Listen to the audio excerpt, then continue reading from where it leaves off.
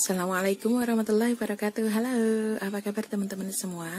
Ketemu lagi bersama saya Eli di Kebun Eli Kali ini saya akan sedikit sharing tentang um, Perbedaan dari uh, beberapa siri gading Yaitu Manjula Photos Kemudian um, Marble Queen Photos dan Enjoy Photos. Baiklah teman-teman, kita menuju ke fotos yang pertama. Jadi di sini kita ada Marble Queen. Teman-teman bisa amati bagaimana uh, tekstur daunnya, bagaimana warna dan motif daunnya. Ya, seperti namanya, Marble Queen memang motifnya tampak seperti marble atau uh, marmer ya. Jadi um, patternnya itu ada serat dasarnya putih, kemudian serat-serat hijau, cantik banget. Ini juga salah satu uh, fotos favorit saya. Ini kebetulan punya saya memang saya beri turus. Kenapa? Karena memang dia pertumbuhannya akan lebih optimal, daunnya bisa membesar jika uh, akar-akar anginnya ini memeluk turus. Nah, seperti daunnya yang uh, memiliki serat-serat marble putih dan kuning, uh, batangnya juga demikian. Batangnya juga variegata memiliki serat-serat uh, putih dan hijau.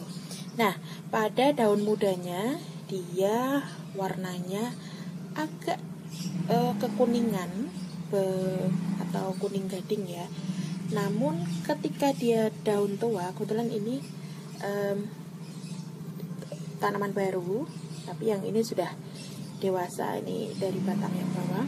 Nah ini dia menjadi warnanya lebih putih. Nih, seperti ini. Nah, kita menuju ke tanaman yang berikutnya, uh, fotos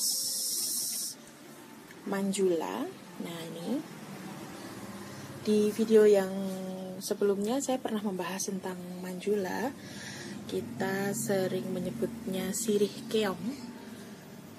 Motifnya sangat cantik seperti goresan cat air ya. Nih. Jadi dia motifnya lebih tegas dibandingkan dengan si marble queen. Nah ini kalau Manjula Photos ini dia eh, blok-blok hijaunya ada, blok putihnya pun ada. Namun dia juga memiliki serat mar seperti marble. Ya. Kemudian batangnya pun hampir mirip seperti batang um, uh, siri gading marble queen tadi. Dia memiliki serat-serat uh, hijau dan putih. Namun bentuk daunnya dia e, berbeda. Seperti namanya, dia daunnya lebih bulat dan bentuknya seperti rumah siput atau keong. Makanya dia sering disebut um, sirih keong. Epipremnum aureum farmanjula. Nah ini. Nah saya ambilkan yang versi originalnya atau yang hijaunya. Kemarin sebenarnya sudah dibahas sedikit, tapi saya coba. Nah ini teman-teman bisa lihat. Ini adalah yang uh, hijau. Jadi dia memiliki blok-blok juga. Namun tidak terlalu kelihatan kalau kita melihat sepintas ya. Nah ini adalah um, manjula. Cuman lebih populernya manjula adalah yang variegata ini. Oke. okay.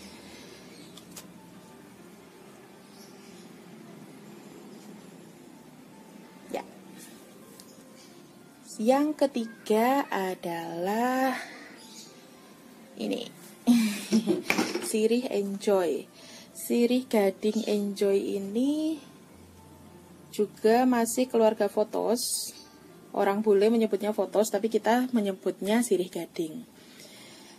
Nah, ini mirip sekali dengan uh, si Manjula, namun dia memiliki daun yang jauh lebih kecil dibanding manjula ini saya beri ini ya perbandingan ya.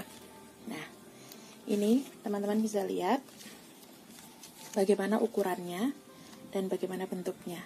Nah, si sirih gading uh, enjoy ini dia ukurannya lebih kecil, lebih kecil, namun motifnya sangat tegas blok hijau dan varigata putihnya sangat sangat jelas sangat tegas. Kemudian uh, ada sedikit sekali bercak-bercak marble seperti marble namun hanya sedikit uh, lebih dominan didominasi blok hijau dan putih. Ini juga sangat cantik. Jika dibandingkan dengan uh, manjula yang sangat mirip dengan dia uh, ukurannya memang jauh lebih kecil. Jadi mungkin bisa sepertiganya atau seperempatnya atau setengahnya. Ya. Namun si enjoy ini memiliki daun yang lebih kaku lebih tebal dibandingkan dengan uh, manjula.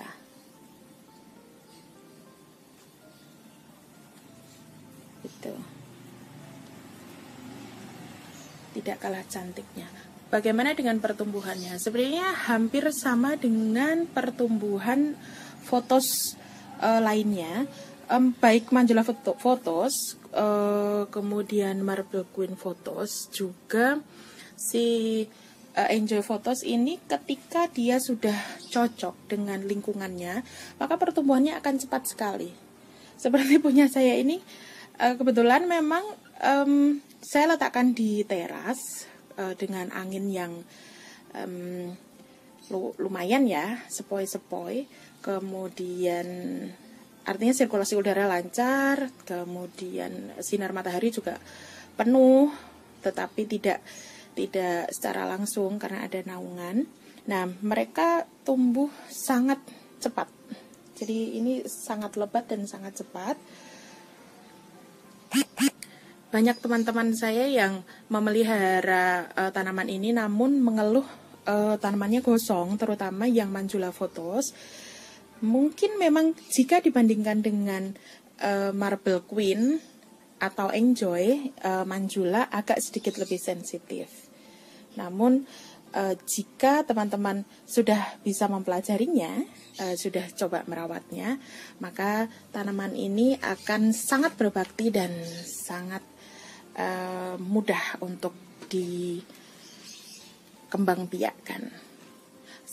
Uh, di video berikutnya, kalau teman-teman mau, saya mungkin akan memberikan uh, contoh bagaimana cara mempropagasi uh, tanaman ini.